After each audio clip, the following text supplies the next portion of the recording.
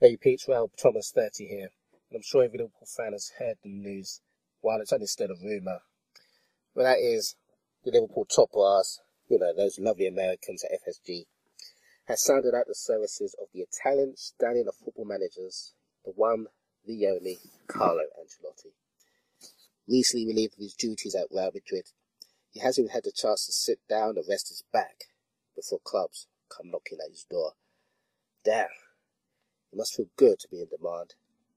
If the rim is true, judging by this article's grammar, hmm, I'm not too sure.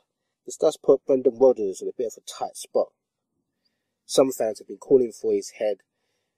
Some fans have been calling for him to be replaced by a Klopp, and now Ancelotti has been thrown into the mix.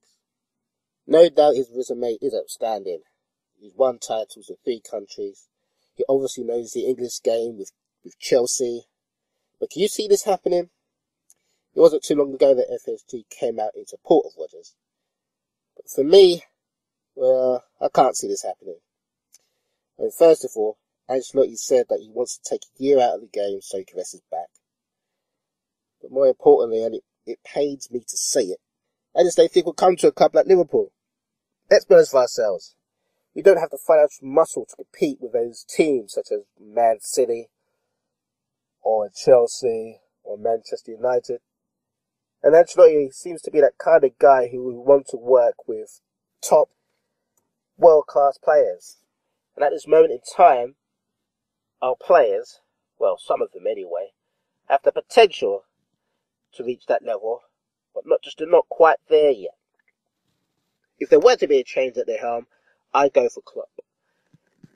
He's young, less miles on the clock, and I think he'll be patient to allow our young players to develop. But hey, with all this said and done, I've still got love for Rodgers. Yes, the 2014-15 season was a bit of a dud. No trophies for three years. But I think he deserves another year. But you know, it's not every day that you have two top class managers looking for work.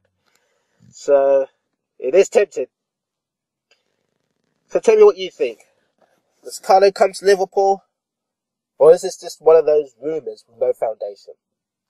Like, comment, subscribe. This is Raul Thomas 30, YNWA.